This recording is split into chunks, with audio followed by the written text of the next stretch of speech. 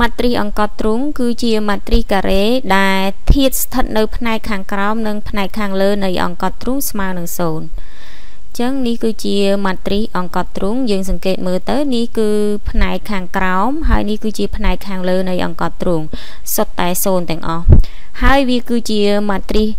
ម៉ាត្រីសអង្កត់ទ្រុងនឹងដែរវាគឺជាម៉ាត្រីសការ៉េដោយសារតែអង្កត់ទ្រុងមានតែចំពោះម៉ាត្រីសការ៉េតែប៉ុណ្ណោះឧទាហរណ៍ ម៉ាត្រីស D ស្មើ diagonal នៃ1 2ដក3ជា3ខ្វែង3ម៉ាត្រីសអង្កត់ទ្រុងដោយសារតែធាតុស្ថិតនៅលើអង្កត់ទ្រុងមាន3ធាតុហេតុនេះម៉ាត្រីសហ្នឹងគឺជាម៉ាត្រីសអង្កត់ទ្រុងលំដាប់3ខ្វែង3ឬក៏គេអាចសរសេរ D ស្មើនឹងប៉ុណ្ណឹងអញ្ចឹងយើងសង្កេតមើលបើយើងសរសេរបែបហ្នឹងមានន័យថាផ្នែកខាងក្រោមនិងផ្នែកខាងលើនៃអង្កត់ទ្រុងត្រូវស្មើ0ទាំងអស់ ហេតុនេះនេះគឺជាឧទាហរណ៍និងជាសញ្ញានៃម៉ាត្រីសអង្កត់ទ្រុង។